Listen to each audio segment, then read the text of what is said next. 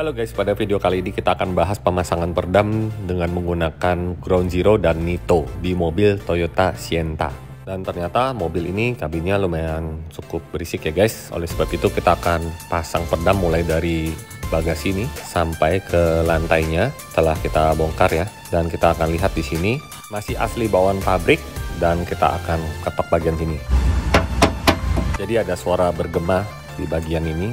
Dan di bagian bawah ban serep sudah ada perdamnya yang warna hitam ini di mana perdam asli bawaan mobil ini bahannya dari aspal.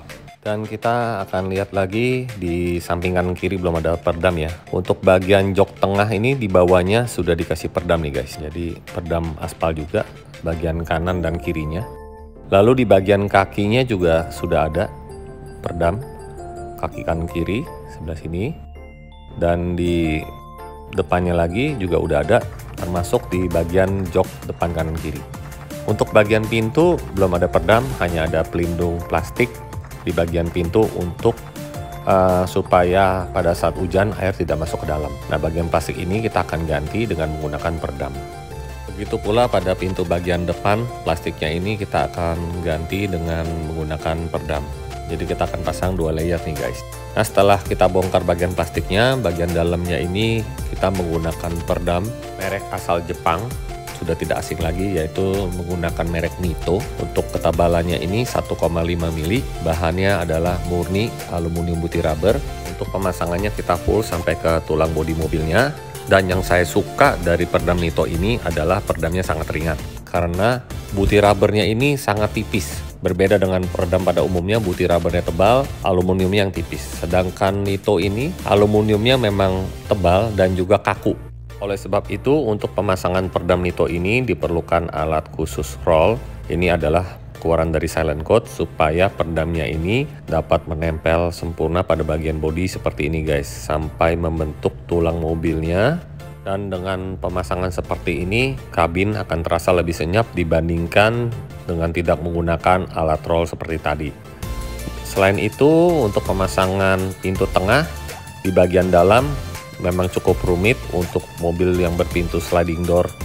Otomatis seperti ini kita matikan dulu atau kita manualkan baru kita bisa pasang peredamnya pada bagian layer pertama di dalam ini. Lalu untuk layer keduanya kita menggunakan peredam yang sama yaitu Nito aluminium multi rubber jadi untuk pemasangan perdam pintu depan dan pintu tengahnya ini, karena pintunya sliding, kita menggunakan perdam yang ringan. Untuk bagian lantai dan atap, kita menggunakan perdam Ground Zero aluminium putih rubber berjenis silver. Untuk tebalnya 1,7 mili, kita pasang pada bagian plafon, yang di mana fungsi pemasangan perdam plafon ini adalah untuk mengurangi kebisingan pada saat hujan dan juga dapat mengurangi panasnya matahari di saat siang hari atau pada saat mobilnya sedang diparkir di luar. Selain atap, kita juga melakukan pemasangan di bagian lantai nih guys. Mulai dari bawah dashboard, yang di mana asli bawaan mobil ini sudah ada rock woolnya.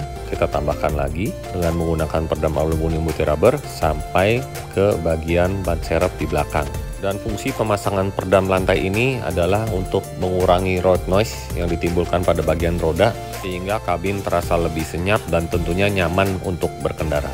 Dan untuk bagian fender roda, cover plastiknya ini kita tambahkan lagi nih guys dengan menggunakan perdam ground zero yang sama, ketebalannya 1,7 mili. Dengan pemasangan dua layer pada bagian fender roda belakang ini dapat mengurangi kebisingan pada bagian roda. Dan yang terakhir adalah pemasangan di bagian pintu bagasi dan untuk rekomendasi dari kami jangan menggunakan perdam yang berat ya guys karena akan merusak shock breaker daripada pintu bagasi. Cukup kita menggunakan perdam Nito dengan satu layer aja di bagian dalamnya dan kalau mau lebih kedap lagi kita bisa tambahkan lagi pada cover bagasinya.